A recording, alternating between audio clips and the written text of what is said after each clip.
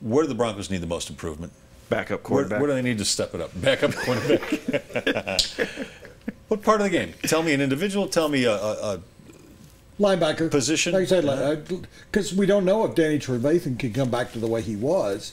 And I know everybody's going, whoa, whoa, whoa, whoa. They got four linebackers. Von Miller, you know, they got Demarcus Ware. They got two, but the two inside linebackers, you, Brandon Marshall, with the problems that he that developed again with the foot injury after he had a knee injury at the end of last year, and he didn't really play well in the playoff game. He didn't play very much, did he? And Trevathan. And by the way, when, when Brandon Marshall was healthy, he was ranked one of the best outside linebackers in this league. Sure. But now he's moved into inside linebacker.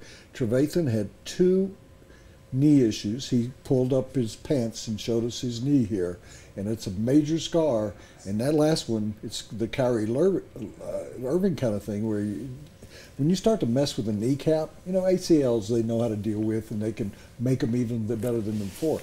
Kneecaps, I think, based at least on my observations over the years, that's a major, major problem. All right, so, you think so that you me, think linebacker linebackers. play? They need to find linebackers in case Marshall or Trevathan can't So make it, or they need to, of they need those guys They need to got get healthy. Lamin Barrow, uh, who was drafted out of LSU, that we didn't really see much of. They got the kid that came in as a free agent that had played with with the Raiders and played some the last couple of games. Got into the lineup. Davis.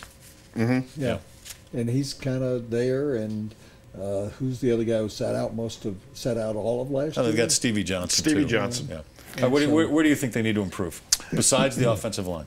Uh, right in the middle of that defensive line. Um, I don't want to give Sly Williams a hard time, but he's had enough time that I haven't seen him make a major impact yet, and he's got to make a major impact, or else the rest of this defense with am I counting right? One, two, three, five Pro Bowl defenders. If you can't control the line of scrimmage, then those five Pro Bowlers can't do their thing. I think the pass rush needs to be better. Okay. Uh, and they and they've got the elements to get it done. They just didn't do it last year because they did play such a vanilla style. But when you've got Demarcus Ware and you've got Von Miller and you've got Shane Ray as your first round draft pick, um, this is a team that that was ranked I think ninth in the NFL in sacks with 41 sacks. You got those guys on the field. You need to be better than ninth. Oh. And and and also a pass rush will get you more interceptions. They weren't ranked very high in interceptions either. So get especially in this day and age it's a passing league we know that you need a better pass rush they've got the personnel to do it Was Demarcus Ware's productivity or lack thereof in the second half of the season was that bad scheme or was that an old player getting tired? Both Okay. may i say both Sure. i think it was both I, I think it was more of the latter. I think I think he's Wade Phillips is talking big about him, but I think this is a guy that's past his prime. We'd all agree on that. I think he's way past his prime. I think he, that's why. but if you spot play them are they okay well, but the question becomes then on passing downs, who are you taking out? Are you taking out the linebackers I've talked about? Are you taking out both of them or one of them? Are you taking out Demarcus Ware and putting Shane Ray in? We keep hearing about, ooh, when they put all three in the lineup, who's Shane Ray going to replace? Where's he going to line up? Uh, both sides? I, I'm not sure, and I trust in Wade. I trust, but I'm not sure how th- that's going to all play out. Of, I mean, last year is a very simple thing: take out the middle linebacker, put in an extra cornerback, uh, Bradley Roby. I- I just don't know. I mean, are they going to take out Brandon Marshall, who you said was a great outside linebacker? Are they going to take Trevathan out? Are they going to take Ware out? What are they going to do? I'm the same way about Sly Williams. I mean, he's I talking, think I think he's you're going talking to a good, good game. You're going to get a lot of different looks, Wood. That's what I think Wade is going to do. He's going to he's going to give you a lot of different looks. And you mentioned scheme, Mark. Um, was it scheme or was it Demarcus Ware's age? Um, they played a very vanilla Agreed. base defense. Everybody knew how they were going to line up, and everybody knew where the defenders were coming from.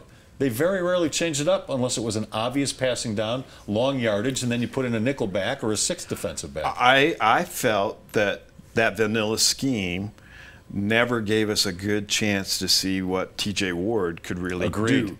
You know, And TJ Ward would agree with you too. if, you- if you're not if you don't have TJ Ward in the box or blitzing, then why is he on your team? That's that's what he does best. So let him do what he does best. But he says to us, Yeah. sitting right there, and he was there twice, saying, "I'm so excited to go back and play safety that I was a linebacker all last year." Yeah. Well, so his opinion is that he was ineffective. That he was placed in an ineffective position. That he was the ma- the extra man in the box all the time. But you say, in Wade, you trust, and I think you're right. And I think the hallmark of Wade, Wade's defenses are I will put my players in a position to do what they do best. Yep. And, and and and with with Shane Ray, I think if you rotate him in with Demarcus Ware, maybe Demarcus Ware plays into November and December better. Maybe he's fresher, but I think Shane Ray is here to replace Demarcus Ware. Oh, of I, think- course. I mean, I think he, he and, and and not just in 2016. I think maybe on October 2nd. Maybe. That segment sponsored by John Elway Chevrolet, Colorado's number one. Go to buy a car, what do you really want? You probably want a lot of cars to choose from. And you want the dealership's best price. Not some starting price or target price, the best price. And you want it immediately, not after hours of negotiating. And you want a salesperson who doesn't get paid more if you spend more. Because, well, you don't want to spend more. Well, you're in luck. John Elway wants all of those things too. Better yet, John Elway wants you to have all of those things too. Come see us or click on johnelwaychevrolet.com.